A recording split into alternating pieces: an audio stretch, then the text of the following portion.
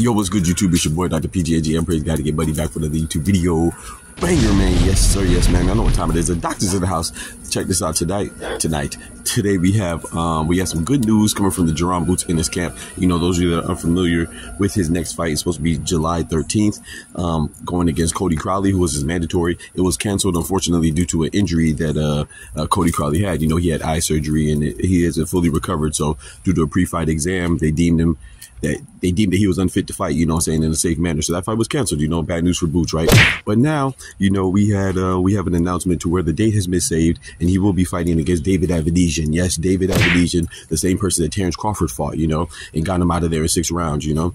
Um, so a lot of people are, a lot of people are, you know, naturally saying, uh, I wonder if, um, Ter- uh, if Jaron Boots Ennis will get David Avanesyan out of there faster than Terence Crawford. I wonder if he could beat him better and faster than Terence Crawford. Shut up, bitch!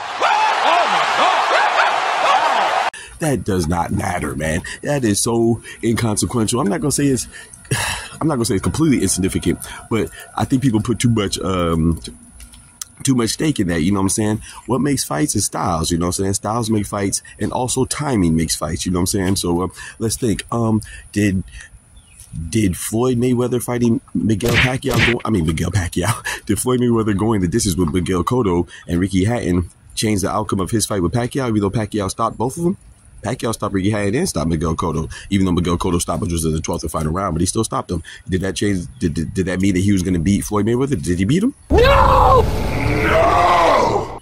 No. So it doesn't really matter. Also, too, um, Thomas, this this would be the second person that Boots has fought after Terence Crawford. You know, they both have they both fought Thomas Dulorme, and um, you know, and, and, now they'll be fighting David Avanesyan. So, like I said, it does mean something, but styles make fights and and timing makes fights because you know Thomas Dulorme he he already lost to Terence Crawford, and then David Avanesyan already lost to Terence Crawford, plus the other people that he lost to as well. It's not like he's undefeated. So, I'm looking forward to this fight though. I think David Avanesyan is a tough fighter, and um, we'll see what he has left in the tank. Um, but I'm just more so happy that the that the that the, that the fight was saved, the date was saved. We get to see Boots back in the ring. You know, of course, we're going to make these, these comparisons, but I think this has little to do with the potential matchup between Terence Crawford and Boots Ennis, you know saying? But we, will see, though. You know, we'll, we'll, we shall see, man, if it ever happens, you know. I appreciate y'all rocking as always.